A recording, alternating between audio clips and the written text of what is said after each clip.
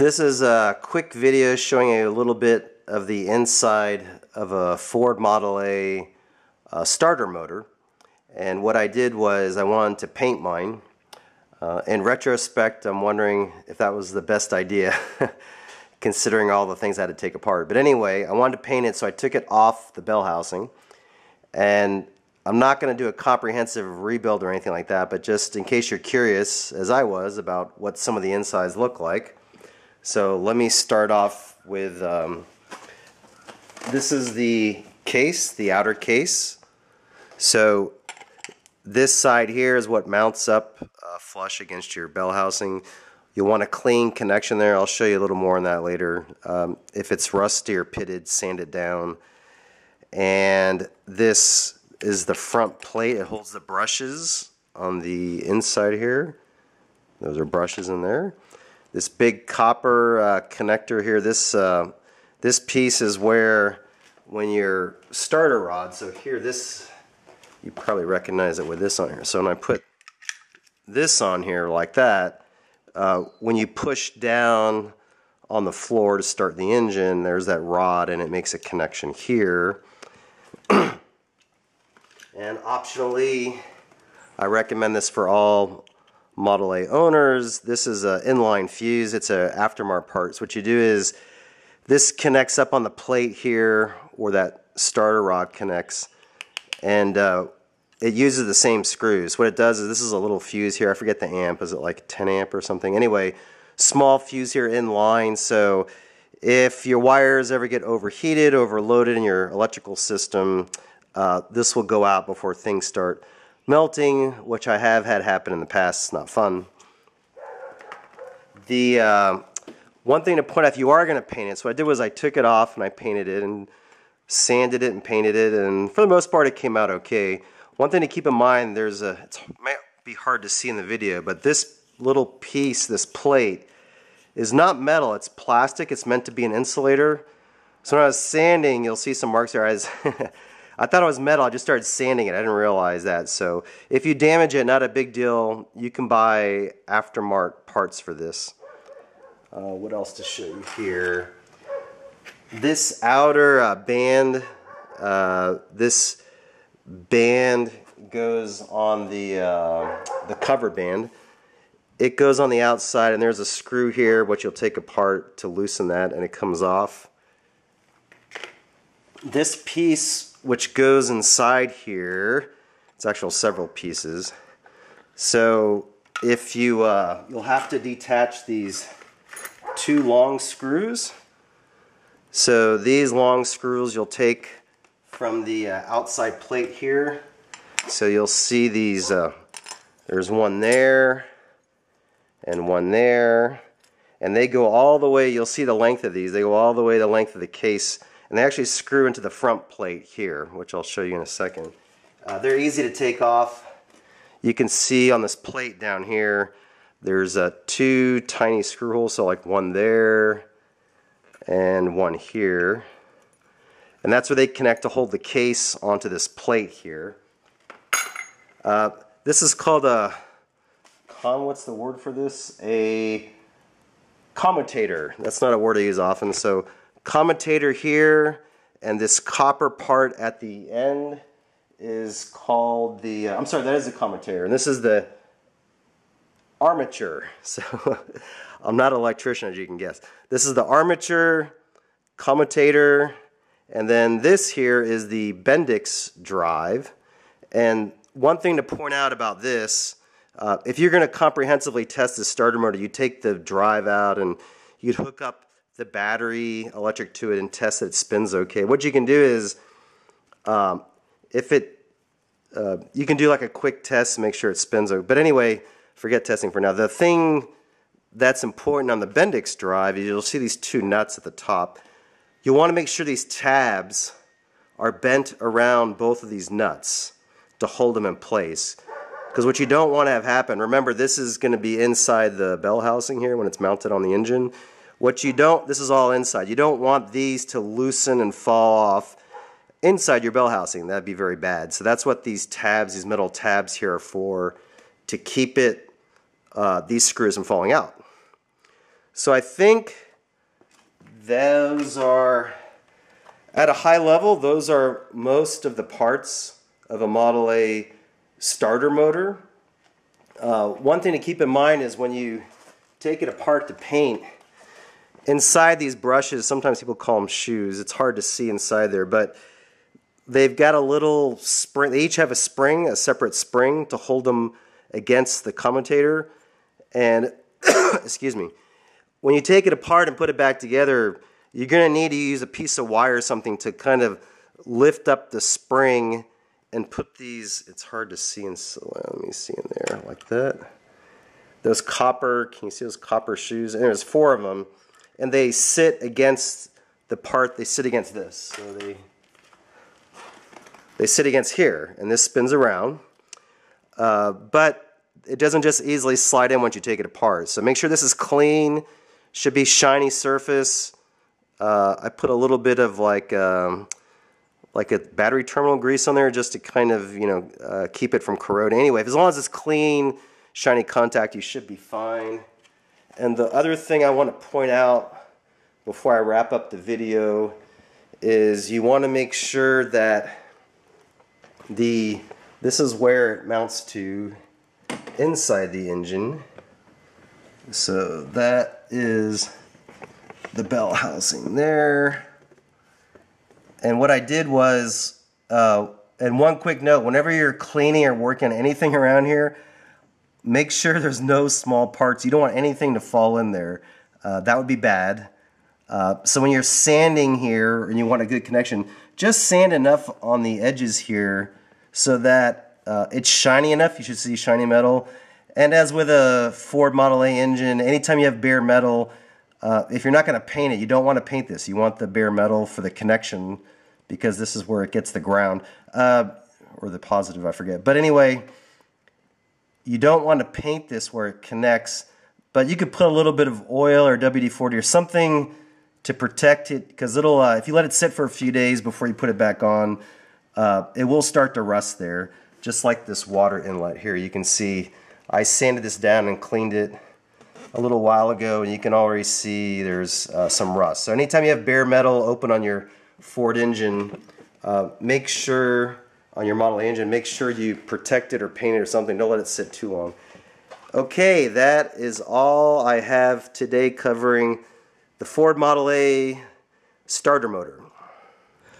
Okay, this is the second part of my Model A distributor motor. And I have a bit of a cough, cold I'm getting over, so I apologize. I'll be coughing through this segment. I wanted to show you how to put it all back together because I thought it was unfair that I have a video showing you how to take it all apart and I did not realize how difficult it would be to get these brushes back on the tip of this uh, commutator.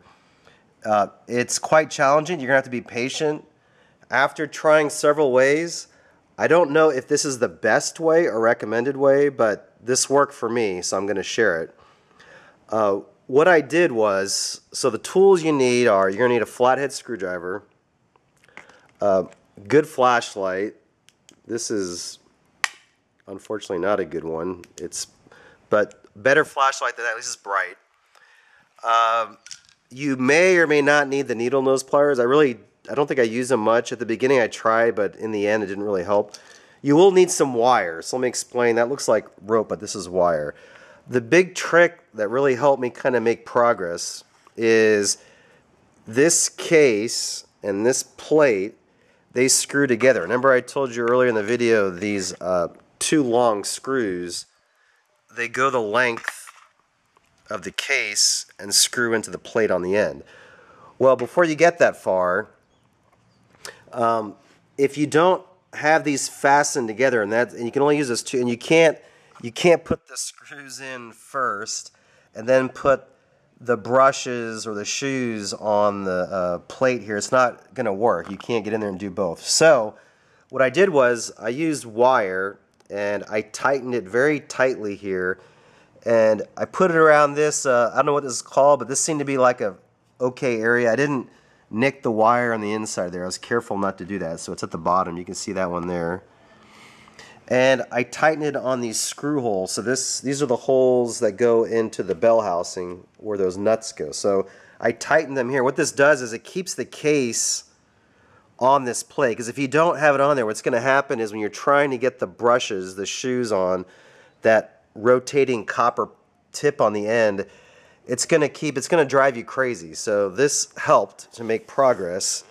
And then I know the, uh, is it that Les Andrews book? The, uh, it talks about using a coat hanger or wire to like pull the springs up as you're putting the shoes, the brushes on. I actually never used this. I tried it a little bit, but let me just show you what I did. So, and I'm not taking it apart again to show you, so you'll just have to have a good imagination here. So let me show you one of the shoes. Uh, let's see, how about, uh, no I can't show you a good one. Let me, uh, well maybe that one. Okay, so get this out of the way, get the light. So a few tricks. One thing to keep in mind is, maybe I can see without there, yeah.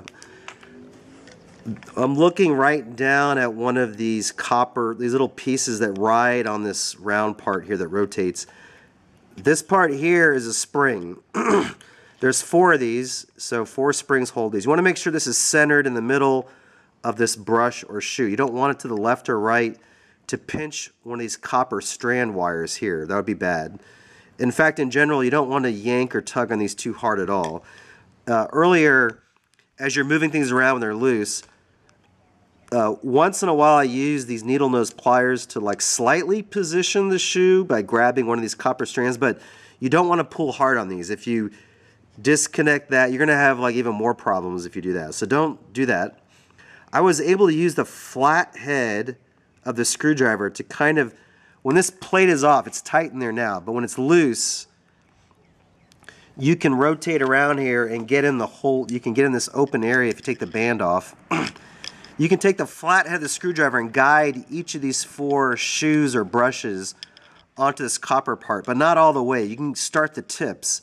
See, what you'll do is you'll start one tip, like right there, then you'll move to the next brush or shoe, and that one's harder to see, but it's like right in there. You'll do that one, and then and you at the same time you're doing this, you have to keep your hand on the top here to keep pressure. Not a, a lot of pressure, but enough pressure so those shoes or brushes don't slip off.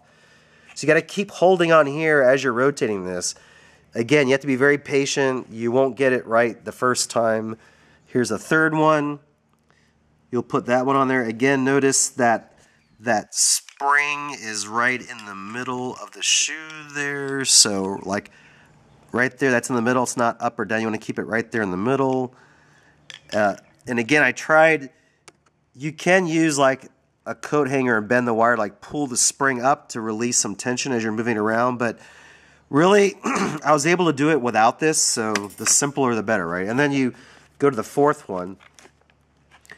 And when you get all four on, it's going to, like I said, it's going to take a little bit of work, but when you get all four slid on, again, the, the tips end, so you're going to, let me see, this bottom part of the brush or shoe, once you slide all of get them aligned over this tip here, then they'll all just slide on. So what you'll do is you'll push down and this will miraculously just slide in and you will be saying your blessings, but you're not quite done yet. You don't want it to fall off. So what you got to do is you got to have this screw ready. So while you're holding this with one hand, you want to take now. One thing I found out, and again I didn't plan this. There's a screw hole here, but you'll see as soon as I push down, it's hitting my wire. Right? It's like, oh no, I can't screw it in. But luckily, I kept one open here, so you'll see this part doesn't have any wire on the inside. So I was able to slide, and this one's already in. I was able to slide this in and screw it in and get a connection down here at the plate. So now all I have to do left, I guess I can safely do it now, is take off this wire. Uh, this is a lot of work, folks. And so take off this wire, slide that out, now what I can do is I can slide this in. Oh, I said it wasn't going to be, let's see, something. Oh, yep, that was okay. Just got it in there. And then line it up with the bottom. Well, I can't see it, but I can. What I can do is uh, I can feel the threads catching. So I'll tighten it by hand. That's most the way in. And then you would use your, this is the wrong size screwdriver for this, but you would then get your screwdriver and finish this off. Don't strip these off. This is a pretty large, thick size screwdriver flathead. You want to make sure you get the right size here not strip it. Anyway, once you do that, then you can put it back into your Model A car. So this, this was a lot of work, but I thought it might be worth at least recording a tip that I use. Again, I was able to just use a flathead screwdriver, good flashlight to see what you're doing. Uh, you may or may not need the needle nose plier to move those copper strand wires a little bit in here. May or may not help. Uh, if you got a coat hanger around the house, you know you can try this to lift up on those spring tensioners, and that might help or not. I didn't really need it, but definitely attaching using you know string, a wire, something tight to attach this case to the plate before you start really made the difference. So uh, good luck in all your work on your Model A.